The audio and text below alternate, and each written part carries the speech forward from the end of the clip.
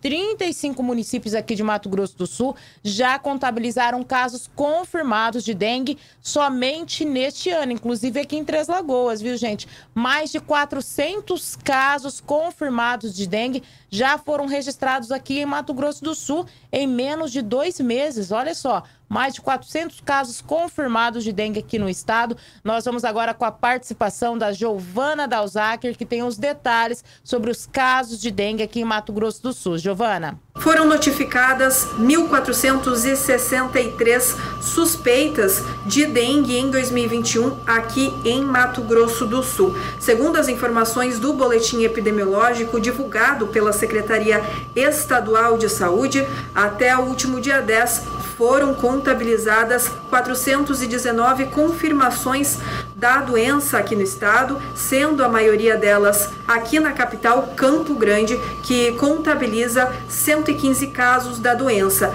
35 municípios de Mato Grosso do Sul já contabilizam casos até agora em 2021. Com relação à semana anterior, houve um aumento de 35% no número de casos aqui em Mato Grosso do Sul. Até o dia 3 de fevereiro, o estado contabilizava 310 confirmações de dengue e o número saltou então para 419 casos no último dia 10. A doença não fez nenhuma vítima em 2021 aqui em Mato Grosso do Sul.